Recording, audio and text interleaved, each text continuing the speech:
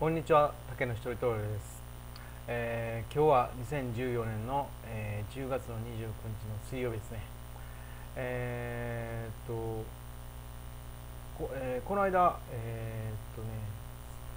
こういうえーっと貼るノートですね。こういうのこういう要はし、えー写真とか貼るやつを買ったんですけどこれ何買ったかというと,、えー、と宝地図っていうのがあるんですよ。えー要は、えー、と目標を、えー、と紙に書けっていうのあるじゃないですかそれを要は写真とか貼って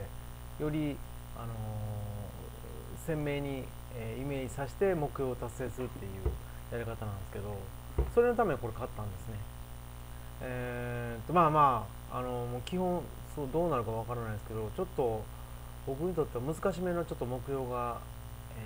ーまあ、難しくはないんですけど時間的にちょっと厳しいちょっと制限制限というとかね自分の中で制限してるやつがあるんでそれの目標をちょっと達成するにはあのー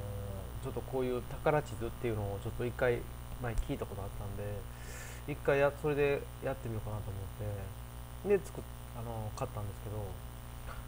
まあまあうまいこといくかわからないですけどまあ何でもね試してみないとわからないんであの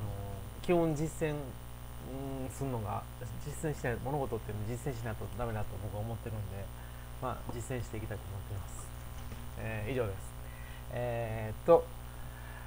えー、竹野人一郎ですが、えーっと昨日は新しい戦略と優先順位を決めてでブログを3つ作ったんですけどできなかったのは動画の準備とリストールの改善ですね。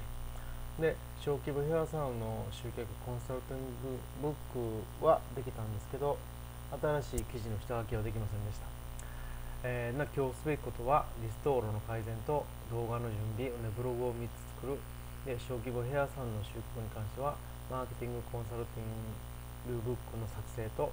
えー新しい、えーブログの下書きをしたいと思います、えー以上竹野一人朝礼でした。